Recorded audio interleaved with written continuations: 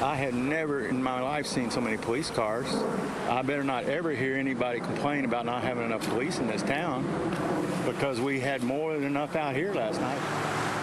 Multiple law enforcement agencies lined the southeast Austin neighborhood as an Austin police officer called out he had been shot. This was a very chaotic scene and uh, turned out to uh, require quite a bit of resources.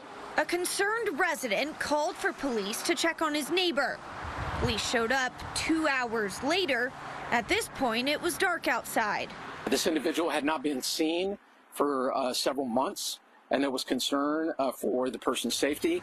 Neighbors say he doesn't leave his home. The only time they've seen him outside is to take the trash out about every other month. APD officers knocked on the door of the neighbor last night. No answer. Within a few moments, officers determined that they were going to make forced entry.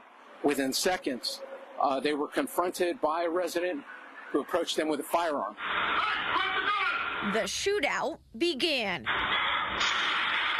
This video shows an APD officer shooting at the suspect. One bullet flew through the window of this neighbor's home.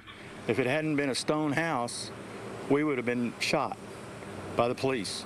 Another video clip shows the suspect came out of his home with a shotgun and fired several rounds in the neighborhood.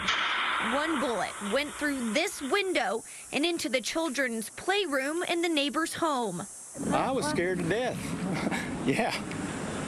Yeah, we, I mean, we knew there was somebody shooting in our house. And this neighbor says the injured officer took cover in his garage. And I, they apparently thought that we were somehow involved. But and I just kept telling them, no, it's the guy in that house. It's that house. He says APD detained he and his wife for hours, and during that time, their front door was blown to pieces.